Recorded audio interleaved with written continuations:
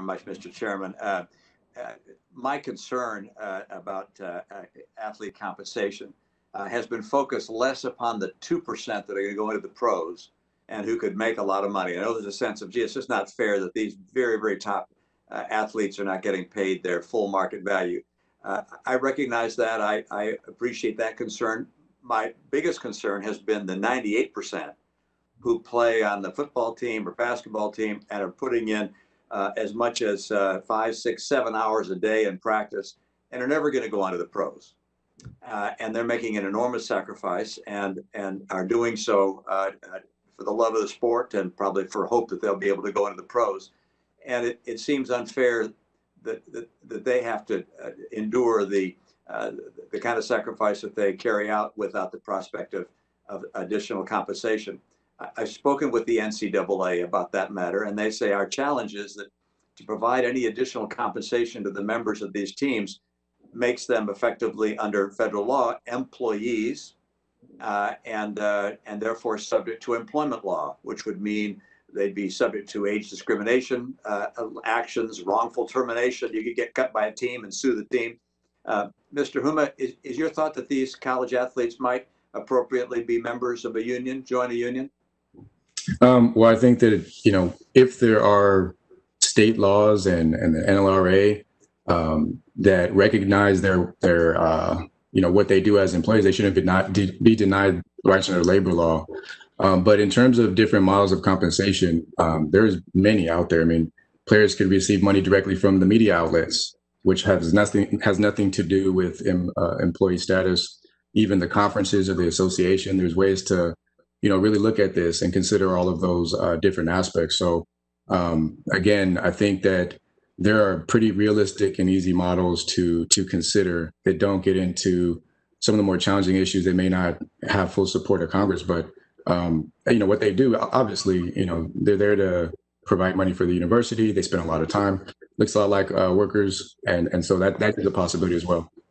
Yeah, no, I, I, I think the point is that I, I have a sense as to why the steelworkers is interested in this topic, which is this is the potential for some uh, unionization of, uh, of college athletes, uh, which could be a real revenue generator for, for a union.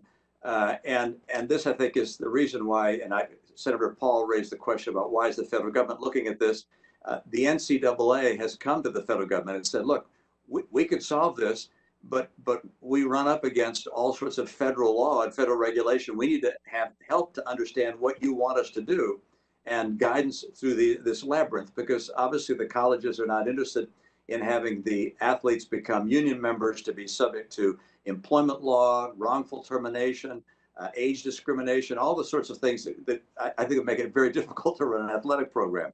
Uh, I, I guess my own inclination is that the the right course here uh, is to find a way to provide additional compensation to, to members of teams uh, for those that are the the two percent, if you will. Uh, that that either they might be able to get name, image, and likeness, but limited to let's say fifty thousand dollars a year, no more than that, uh, or allow them to go pro. And you indicated that well, they can't go pro. Uh, Senator uh, Murphy just indicated, gosh, they can't go pro in, in football, but but my guess is that it's going to be easier for football to change that uh, than uh, and and to follow more like the baseball model than for us to come up with a new law. So I wonder, uh, are are we would we satisfy uh, the concerns that you have if we uh, if we indicated that uh, look we're going to increase the ability to compensate all the members of a team, not just the two percent that go into the pros, uh, and that the the very high earner potential, the two percent. they might be able to get name, image, and likeness, but limited at something like thousand dollars a year. Does that work? And, and let me ask uh, uh, uh, Uh, uh, uh, Ms. Blank or Dr. Blank, would a process of that nature work? And do you see the same concern that I'm describing? Um, I would oppose that type of thing that becomes a pay for play system. You know, I'm primarily an educational institution and I have 850 student athletes. And I run those programs because I want those students to develop a set of skills that may not be developed in other classrooms. I want them to learn self-discipline, self-confidence, the same thing I hope they're learning and other students are learning as they're coming to college. And um, you know that that is about an educational process as you say the main benefit these students take away is their educational degree it's not about coming here to earn money and to be an employee so um, no i wouldn't agree with you that i think that's a good idea Okay, uh, Ms. Dennis? Senator, Senator Romney, thank you. The- the Pro athletes, um, football players can go pro in college. They can't go pro, um, like, uh, Mr. Huma said, from high school.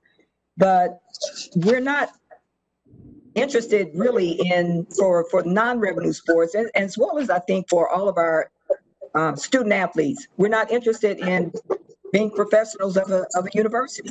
You know, we're interested in being um, student athletes who gain from the educational experience. And if we started making um, all of our student athletes, you know, or have them go pro, our Olympic teams are going to be decimated.